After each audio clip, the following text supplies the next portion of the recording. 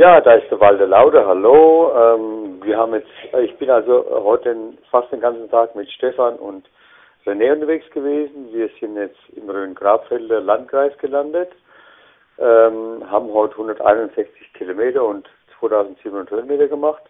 Trockenes Wetter, war wunderbar, äh, war heute ein bisschen äh, weniger heiß, weniger schwül als gestern. Äh, wir sind gut drauf, sind jetzt hier ähm, in so einer Art Jugendheim gelandet und äh, konnten jetzt hier ganz toll noch ein Steak essen, zwei Bier trinken und äh, sind jetzt hier quasi in so einer improvisierten Bar, haben da unsere Schlafsäcke und Isomatten ausgerollt, werden hier übernachten, morgen früh um 5 Uhr aufstehen dann geht's weiter zum dritten Tag. In diesem Sinn, macht's gut allerseits. Tschüss.